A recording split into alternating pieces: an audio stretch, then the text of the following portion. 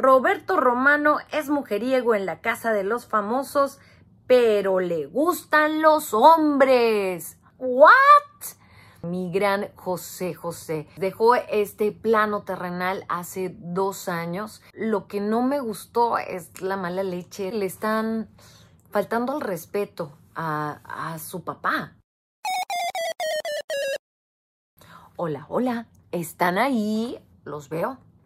Ahí están.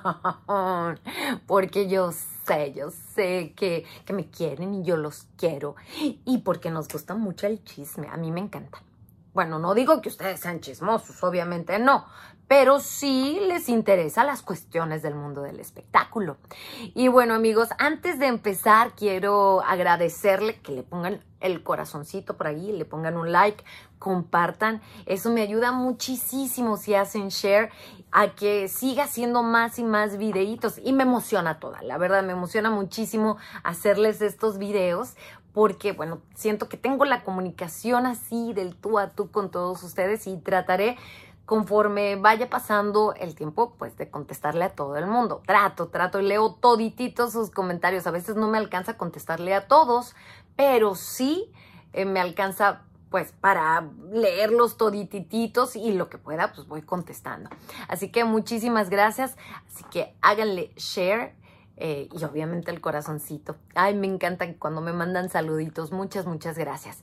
Y bueno amigos, el día de hoy es un día muy especial en donde recordamos al gran príncipe de la canción, mi gran José José, quien pues dejó este plano terrenal hace dos años después de luchar con múltiples enfermedades que tenía. Y bueno, eh, es una fecha muy, muy especial para mí tuve la oportunidad de informarles a ustedes que esto había pasado con todo el dolor de mi corazón y toda la tristeza que esto había, había ocurrido. Y, bueno, se llegó a ser noticia internacional, obviamente. Y lo que pasó después, pues me, me sigue sorprendiendo muchísimo desde la búsqueda del, del cuerpo en donde pues sabemos que las autoridades tienen diferentes códigos y que uno aquí en Estados Unidos no puedes ocultar nada. Aquí en un hospital pues se tienen que hacer las cosas de determinada manera. Eh, yo lo sé porque se murió un, un, familiar mío y pues para que te entregaran el cuerpo no fue mañana te lo entrego, o sea, se tomó bastante tiempo. Eh, se tomó también bastante tiempo en conseguir un espacio, un lugar donde hacer la cremación. O sea, eso no es de aquí te mueres hoy y mañana te entierran. En México y en nuestros países así son, yo, yo entiendo. Pero lo que no me gustó es la mala leche, la mala onda. No me gustan los hermanos hablando mal uno del otro. Se me hace algo muy, muy feo y que algo que le están faltando al respeto a, su papá, al gran príncipe de la canción, que jamás en un millón de años hubiera querido que pasara esto. Y ojo, he hablado con muchos, muchos famosos que también se llevaban muy bien con el gran José José, grandes estrellas, que en el tiempo que él estuvo en Miami, él le habló a todos sus amigos, él le hablaba a quien le daba la gana la verdad, eh, no estaba Sarita, no vas a hablar. No, no, no, eso es totalmente mentira. Pero bueno, vayamos nuevamente. Yo lo que en estos dos años ya hubiera esperado es de que si Sarita tiene todo el papeleo y tiene los doctores que atendieron a José José que explicaran qué es en realidad lo que le había pasado al príncipe de la canción, cómo había caminado su situación, su enfermedad y, y que pues mostrara, ¿verdad? Todo lo que hizo, que yo sé que lo hizo, pero lo sé por gente muy allegada a José José, muy allegada a, a la familia que saben absolutamente todo. Y, y bueno, yo no sé por qué no se, no se ha hablado, no ha salido a la luz, para que de una vez por todas, pues, evitar que, que sus medios hermanos, eh, pues, sigan hablando todo ese tipo de cosas tan espantosas y que sigan llamándola a ella tan, tan feo, porque creo que es una niña que no se lo merece. Pero bueno, espero, ojalá que en algún momento lleguen a hablar, lleguen a, unirse nuevamente la, la familia. Lo veo difícil, pero pues siempre hay esperanza, ¿verdad? Por el bienestar y por la memoria de nuestro gran príncipe de la canción. Y bueno, siempre lo voy a recordar yo a nivel personal como alguien quien siempre tuvo una sonrisa en las buenas y en las malas. Eh, me abrió las puertas de su casa, lo entrevisté varias veces, pero además de eso me invitó a cenar en un día en donde fue Cristian Castro a cantarle. Eh, me reí muchísimo, era súper buena onda. Eh, me acuerdo que un día fuimos a un partido de, de fútbol americano con estos compadres y este grupo de amigos muy, muy grandes que precisamente trabajan muy allegados a hospitales. O sea, es por eso que le pudieron echar la mano cuando él más lo necesitaba. Pero bueno, fuimos a un partido de fútbol americano y ahí estábamos risa y risa él y yo porque era la primera vez que íbamos. Y este grupo de personas eran súper fanáticas de los Miami Dolphins. Bueno, pues, ¿qué creen? Que pierden los Miami Dolphins. Y José José me decía, híjoles, ya no nos van a volver a invitar, comadre, ya no nos van a invitar porque pues no les dimos buena suerte. Pero bueno, mientras estábamos ahí, la gente que vendía chuchulucos, que vendía que las sodas, que si los hot dogs, cacahuates y demás que siempre se andan paseando, lo reconocían. Y entonces poco a poco se corrió el rumor de que José José estaba ahí. Miren, nos quedamos más de una hora, una hora, dos horas, mientras él se seguía tomando fotografías, eh, firmando autógrafos. Es que él era así, sencillo. Era un, muy carismático y le tenía un gran cariño y respeto a todo su público. Así que por eso y por muchas cosas más, lo recordamos el día de hoy y celebramos su vida, su gran ejemplo y le agradecemos por todo ese talento que nos regaló. Así que que viva el príncipe de la canción por siempre. Y bueno, ahora sí. La casa de los famosos. ¡Ah! Yo no lo puedo creer, amigos, no lo puedo creer. Vamos a empezar con que el día de ayer, el día de eliminaciones, que sale Jorge Aravena.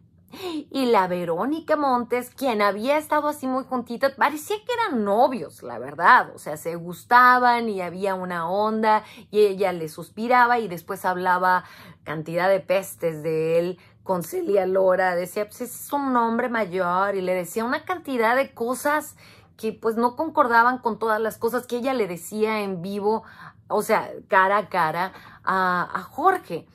Pero bueno, eh, híjoles, me, chocó un poquito cuando ella tuvo la oportunidad de salvar a, esa persona que sí, más bien, no, no era su novio, ¿verdad?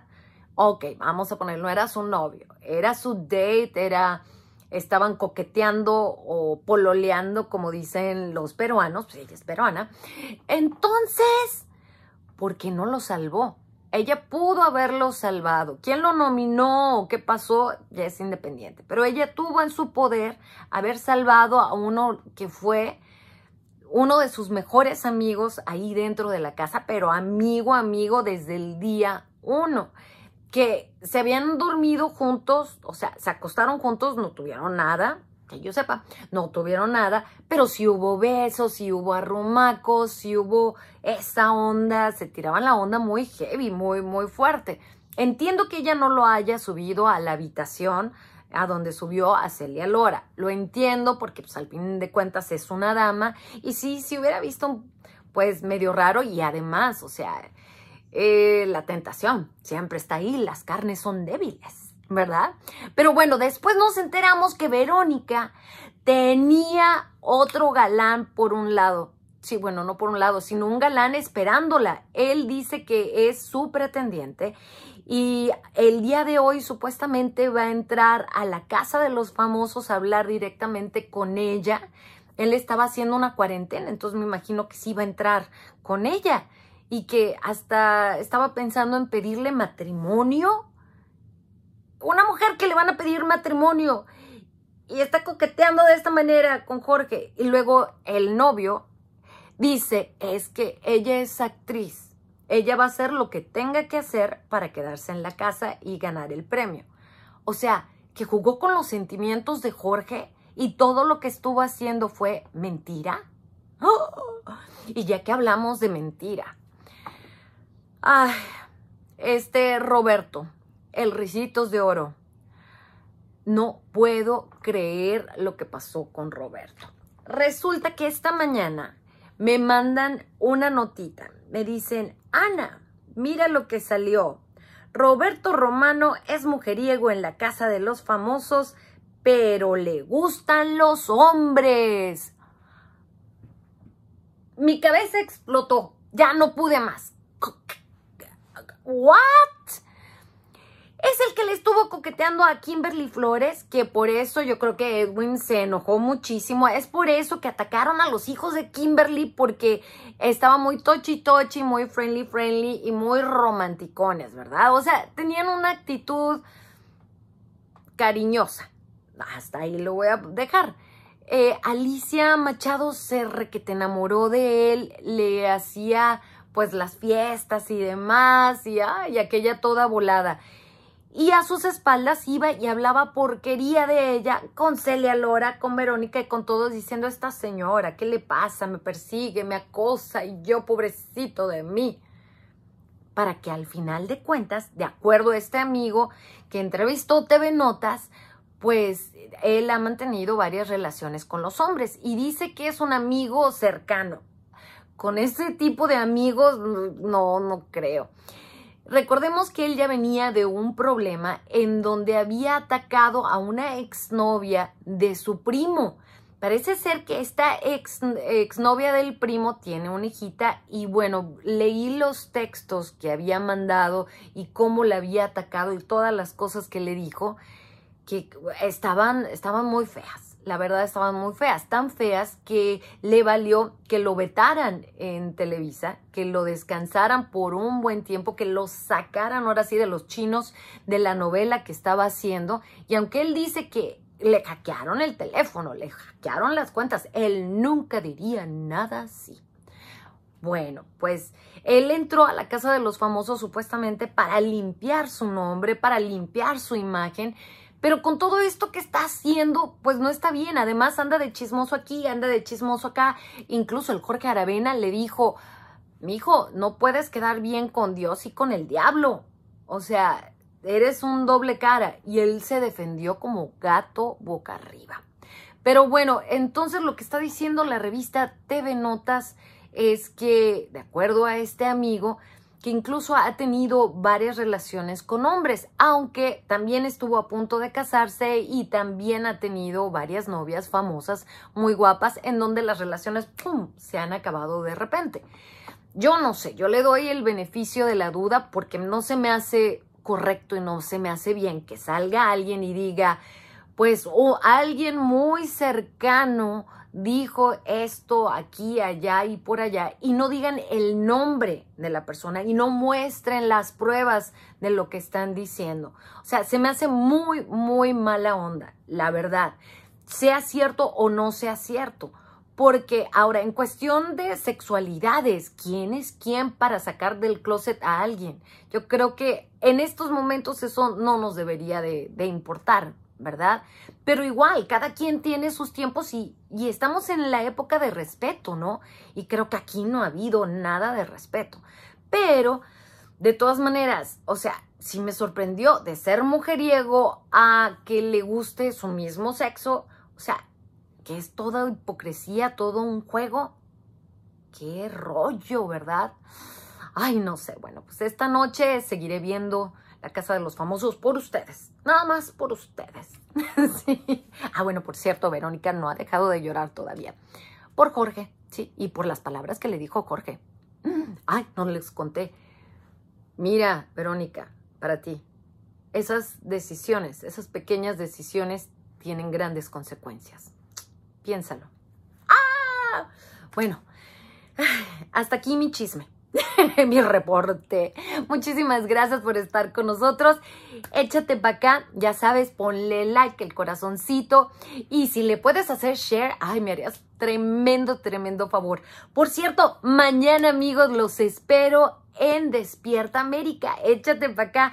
Reanudamos el Sin Rollos. Qué padre, porque ya lo extrañaba todo el mes sin hacer nada de eso. Ah, se siente rico, ¿verdad? Así cuando veo la cámara bueno, mi iPad en vivo y que van conmigo, ay, me emociona mucho. Así que acompáñenme mañana en Sin Rollo en Despierta América. Los quiero muchísimo y hasta mañana a ver qué otro chismecito me encuentro por ahí. Los quiero y les mando muchas, pero muchas bendiciones. Bye.